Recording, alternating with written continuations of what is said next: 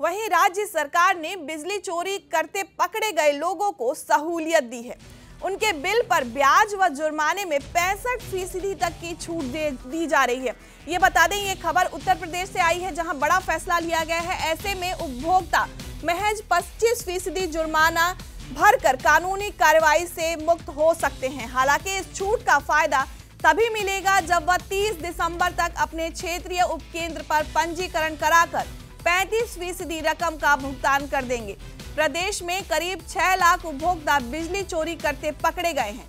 ऊर्जा मंत्री ए के शर्मा ने बुधवार को लखनऊ के कैंट उपकेंद्र पर पावर कॉरपोरेशन की एक्यूमुश्त समाधान योजना, ओटीएस का शुभारंभ किया। उन्होंने कैंट उपकेंद्र पर ब्याज माफ़ी के लिए पहला पंजीकरण कराने वाली छावनी क्षेत्र निवासी मीरा को छूट का लाभ देकर बिजली बिल सौंपा।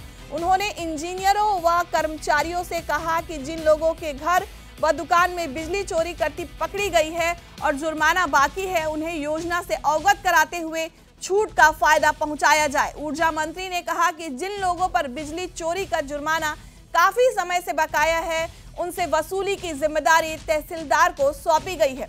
जिस बकायेदार के पास तहसील से रिकवरी का नोटिस आया हो वे परेशान ना हो। बिजली चोरी के मामले में आवेदन, आवेदक को पंजीकरण के समय जुर्माने की 10 फ़ीसदी और बाद में 25 फ़ीसदी रकम जमा करनी होगी।